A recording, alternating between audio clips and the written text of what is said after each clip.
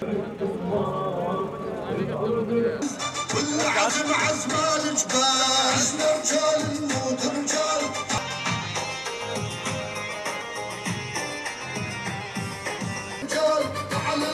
كريم وقال انا وبلدنا رح نرجع يا بلدنا لأن الاحتلال الآن يدعو إلى سن قانون من خلال مؤسساته التشريعية لإقرار قانون إعدام الأسرى و- وهذا القانون يتنافى تماما مع كافة الشرائع الدولية واتفاقيات جنيف وكل المواثيق الدولية التي تدعم حماية الأسرى الحرب الموجودين داخل سجون الاحتلال. نحن نرى إن كانت إسرائيل تخطط لإقرار هذا القانون هو مسنود بالأساس بدعم القوى الدولية الظالمة التي أصبحت لا ترى إلا ظلام هذا الاحتلال.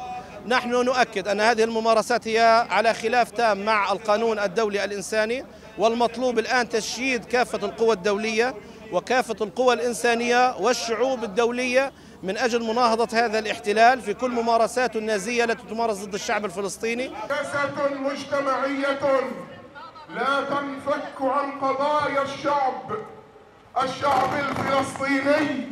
الصامت على جرائم العدو الصهيوني بأن الأسرى هم مكون أساسي من بأن هذا القانون سيكون عامل تفجير للأوضاع داخل السجون وخارجها ولن يسمح الأسرى داخل السجون ولا شعبنا الفلسطيني بتمرير هكذا قانون لأنه ينتهك أولا القوانين والأعراف الدولية التي اعترفت بالأسرى الفلسطينيين أسرى حرب ويجب إطلاق سراحهم وإعطائهم كافة حقوقهم.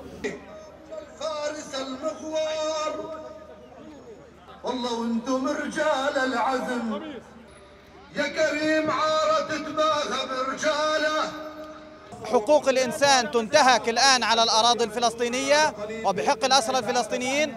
نقول بأن على كافة مؤسسات حقوق الإنسان الدولية والإق- والإقليمية الوقوف عند مسؤولياتها الأمم المتحدة مطالبة بأن تقف عند مسؤولياتها. كون أن هذا كون أن هذا القانون المنوي إقراره من قبل ما يسمى بالكنيسة الصهيوني إنما هو مخالفة واضحة وصريحة للقانون الدولي. لكريم تحية! لكريم تحية! من نقبتنا الأبية! السلام عليكم. من نقبتنا المهنية! سلسلة فعاليات الأسرى والوقوف معهم في كل وقت.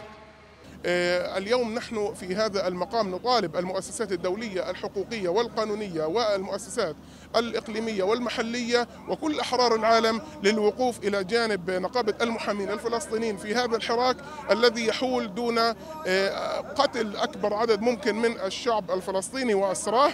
والأسرى الآن أصبحوا في فم الموت بعد هذا القانون قانون إعدام الأسرى في مواصلة غطيان- طغيانه واعتباره وتدخله في صفات الإجرام الغير عاقل. على حكومة الاحتلال يعتبر بحد ذاته دعما لعنصرية هذا المحتل. والذي تعتبر يعتبر رمزا للصمود. توحيد توحيد الجهود من أجل إطلاق حملة دولية.